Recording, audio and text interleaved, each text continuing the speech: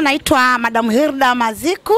E, ni mkurugenzi wa kampuni inaitwa Mama G Herbal Life. Sisi ni wazalishaji wa virutubisho vya mti wa mlonge, mlonge au moringa oleifera kwa Kiingereza. Mti huu unafahamika sana duniani, ambao uliingia Tanzania miaka zaidi ya ishirini kutokea kule nchini India. E, moringa sasa upo Tanzania kwa miaka mingi na unafahamika sana kama tiba, kama lishe ya, ma, ya, ya magonjwa mbalimbali kama kinga.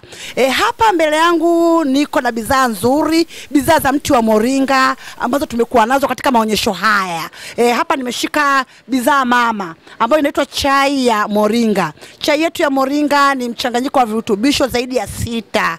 Chai hii tumekuwa tukiitangaza katika media mbalimbali, lakini chai yenye faida kubwa ukikompea na chai zingine. Tunaita chai lakini si chai tu, ni kama juisi lakini tunaita chai kwa sababu unaweza ukaitumia na maji ya moto. Chai hii ina sifa nyingi sana. Tumeweka ndani yake majani ya mlonge, tumeweka tangawizi, tumeweka iliki, tumeweka mbegu za maboga, mbegu za parachichi. Kwa hiyo si chai tu. Na unapokunywa chai hii, faida zake ni nyingi. Inaondoa mafua, vikohozi, inaboresha kinga za mwili, lakini pia inasaidia kuondoa sumu mwilini, lakini pia inasaidia kuuisha afya ya ubongo brain activator. yani chai tamu sana. Hata ukiwa na maumivu kwenye mwili wako, tunashauri utumie chai hii ili kumaliza maumivu badala ya kwenda kutumia madawa kama madawa kama ya paracetamol ambayo si mazuri sana kiafya ukiyatumia kwa muda mrefu. Kwa hiyo tuko hapa kwa ajili ya kuonyesha bidhaa zetu nzuri, lakini pia tunayo bidhaa yetu nyingine bidhaa ambayo ni bidhaa kubwa inaitwa Moringa Fruit Tree. Moringa Fruit Tree ni bidhaa ambayo tumeitengeneza ki, kitaalamu zaidi kwa kutumia mlonge mti mzima. Tumeweka kuanzia majani, tumeweka magome, tumeweka mizizi, tumeweka maua pamoja na mbegu.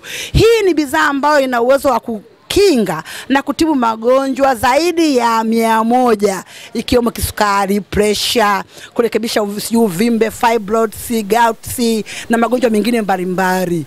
Tanzania kama Tanzania tumeweza kuitangaza sana ndani na nje ya Tanzania na matokeo ni makubwa kwa asilimia mia moja. Lakini pia tunayo matunda ambayo tumeyakausha, matunda ya amla.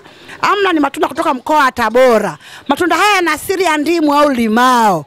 Amla ni matunda ambayo unaweza ukayatumia kwenye chai, kwenye nyama, kwenye samaki au kwenye juisi.